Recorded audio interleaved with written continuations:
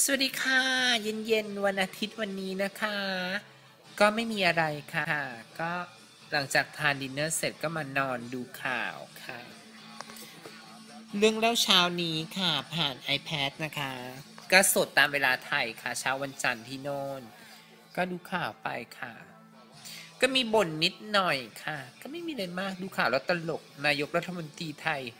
จับแก้วแชมเปญนะคะเขาดูเกรงๆกันเนาะทั้งคณะรัฐมนตรีคนอื่นด้วย ฝรั่งเขาจับแก้วไม่เห็นเกรงเลย จับง่ายๆก็จับแก้วหรือยกแค่นั้น ไทยจับแล้วก็แพรแวด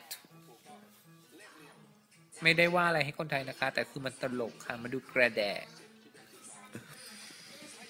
ลูกสาวก็มานอนอยู่หน้าอกนี่ค่ะหน้าอกหน้าใจ ตอนนี้เพิ่งจะหกโมงห้านาทีค่ะ ข้างนอกมืดสนิทเลยค่ะ